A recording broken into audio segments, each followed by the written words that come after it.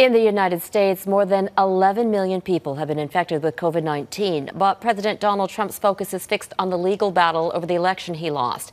Today, Trump officially acknowledged that Joe Biden won, but still says he will not concede, claiming the vote was rigged. Tonight, pressure is growing on Trump to accept Biden as the president elect and begin a peaceful transition.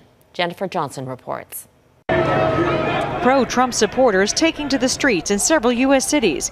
Tensions rose in Washington, leading to over 20 arrests. The demonstrators repeating President Donald Trump's baseless claim that the election was rigged.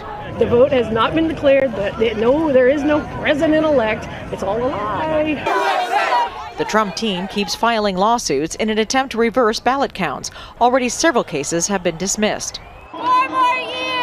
President Trump remains defiant on Twitter, saying, I concede nothing. We have a long way to go. This was a rigged election, while earlier writing that Joe Biden had won. Donald Trump's Twitter feed doesn't make Joe Biden president or not president. The American people did that. What, what we really want to see this week is the General Services Administration issue that ascertainment. That would allow President elect Biden to start getting daily intelligence briefings and both the incoming and outgoing administrations to work together on the COVID 19 pandemic and administering a future vaccine. It's almost like passing a baton in a race. You don't want to stop and then give it to somebody. You want to just essentially keep going. That's what transition is. The U.S. has now surpassed 11 million COVID 19 infections. At least 25 states are reporting record hospitalizations, and several state leaders have again ordered partial shutdowns and travel bans.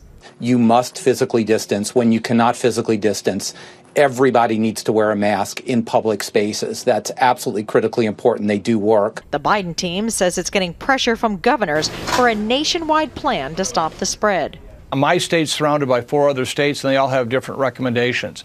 That by itself is what we're talking about, standardizing how we're all going to approach this. President elect Biden will be meeting with his COVID 19 experts and transition team all this week, with or without a formal concession from President Trump.